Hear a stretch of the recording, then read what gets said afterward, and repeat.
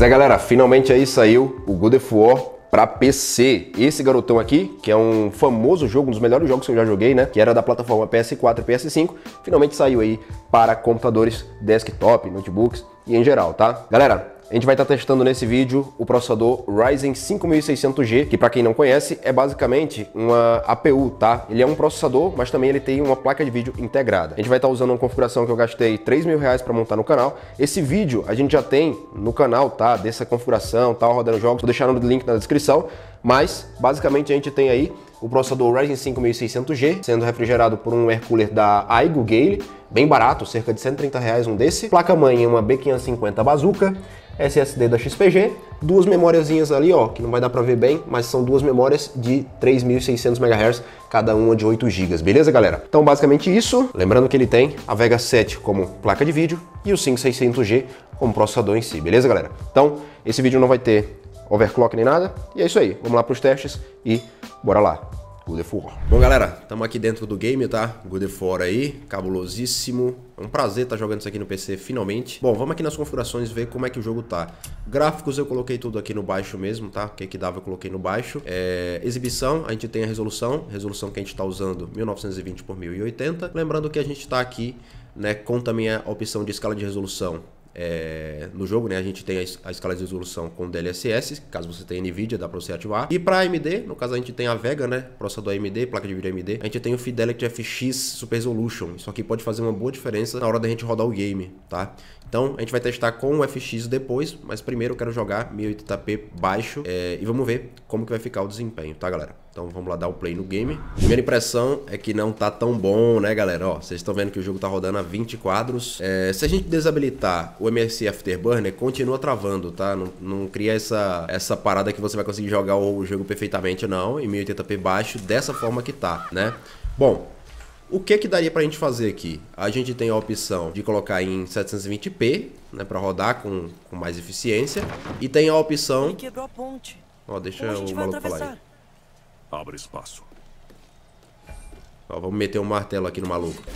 Eita, nós, que massa, velho. E tem a opção de ativar o Fidelity Effects, que eu acho que é o que eu vou fazer agora, tá? Como vocês podem ver, não vai dar pra levar bem isso aí, né, na casa dos 20 quadros, tá? Já estão vendo aí que não é uma boa, né? Bom, galera, vamos fazer uma alteraçãozinha aqui nas configurações e ver o que a gente consegue melhorar. Vou ativar o V-Sync e colocar o limite de frames a 30 quadros para ver se a gente consegue alguma coisa. Vou desativar isso aqui, ó, desfoque de movimento, granulação também, uh, configurações avançadas, tá tudo desligado, né? E acho que é isso. Então vamos lá, voltar para o game e vamos ver como vai ficar. Ó, aumentou um pouquinho, cerca de 3, 4 frames aí, ó. Tá um pouquinho mais jogável, mas ainda tá ruim, tá? Olha só, o que eu vou fazer? Eu vou sair aqui, galera, e eu vou colocar em HD, porque em 1080p não dá realmente. Galera, o jogo agora em HD, 720p no caso, né? Tá outra coisa, tá, galera? Outra coisa totalmente. Não, você não está pronto. Pra trás. Vamos dar um pau no maluco aqui.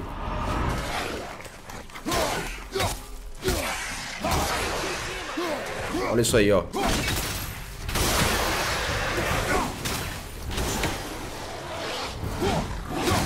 Lembrando que o jogo tá agora em 720p, tá, galera?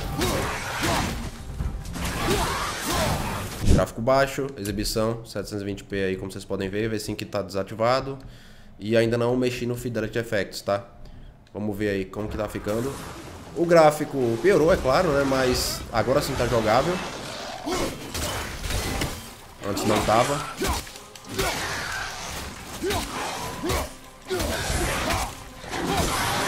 Mano, a gente tá tendo experiência, sei lá, de um... Abaixo do PS4, tá?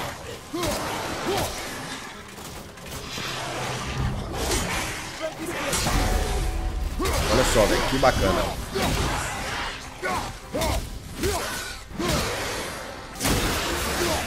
Aí, ó. O jogo tá rodando na casa dos 30 quadros, tá, galera? 38, 30 e pouco aí. Tá bem tranquilo.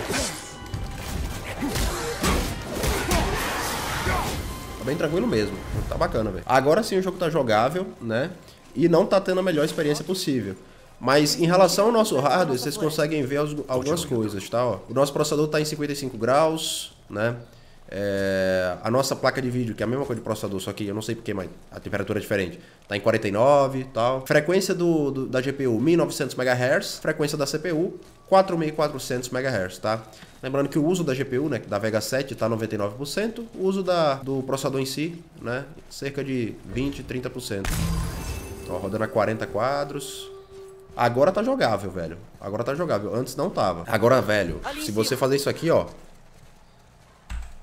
desativar o MSI Afterburner, você consegue ter uma experiência bacana, velho, se você tem esse processador. Eu sei que o jogo não é o mais bonito possível, né, mas, cara, se você já tem esse processador, é uma opção, né? Continua sendo uma opção legal.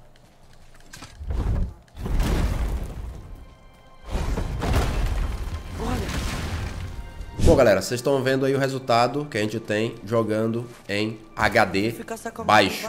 Bom, galera, agora a gente vai testar é, em 1080p, resolução 1080p, porém com o Fidelity FX, o Super Resolution em modo desempenho. Vamos ver como que vai desempenhar.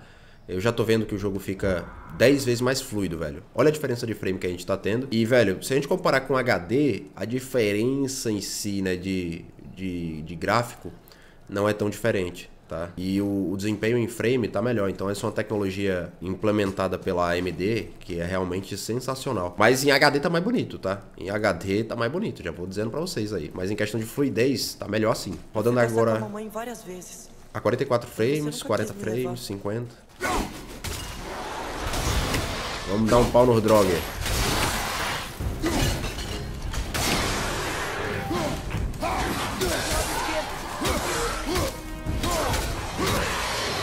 Aí, galera. Rodando super bem, até mesmo em momentos aí de, de luta, né? Ali, ó. Ó que top, velho. Processadorzinho, processador que você compra aí na AliExpress, velho, por 1.200 conto. Processador barra placa de vídeo. Cara, sensacional, velho. Sensacional. Uso de memória RAM aí do PC, cerca de 8 GB para o, o jogo. A Verran tá batendo 2.6. Então tá bem bacana, velho. E lembrando, né, que a VRAM que aparece ali, ela é do nosso da nossa memória RAM, né? No caso, o processador emula a memória que a gente tem para o PC e joga para VRAM. Ai. Bom, vamos fazer agora outro testezão rápido aqui, ó. Vamos aqui em configurações. Vamos lá agora com o Super Resolution no modo equilibrado. Vocês conseguem ver que quando a gente muda aqui, ó, tá vendo a resolução? Quando a gente vai mudando aqui o Super Resolution, mais vai aumentando a resolução, ó. Ultra qualidade, qualidade, equilibrado. Vamos pro modo equilibrado agora e ver o desempenho que a gente vai ter. É, vocês estão vendo, ó, o jogo tá rodando 35 frames e tá mais bonito do que HD. Então já deu uma melhorada se a gente for comparar com o Fidelity Effects no modo de desempenho, né? Enfim, vamos agora também colocar, é, só para vocês verem aí, o Fidelity FX aqui agora no modo qualidade. É, baixo, cada vez que a gente vai alterando, vai baixando mais os frames, mas agora o jogo tá aparecendo Full HD e rodando na, um pouco acima de 30 frames. Então isso aí é uma tecnologia que a AMD colocou que é muito legal. Já deu para ter uma ideia como é que o 5600G fica, né? A gente utilizando aqui no, no jogo God of War para PC que saiu aí recentemente. De fato, uma configuração muito bacana, tá? Muito bacana mesmo. Curti bastante. E se você tem né, esse processador, você vai conseguir jogar, velho.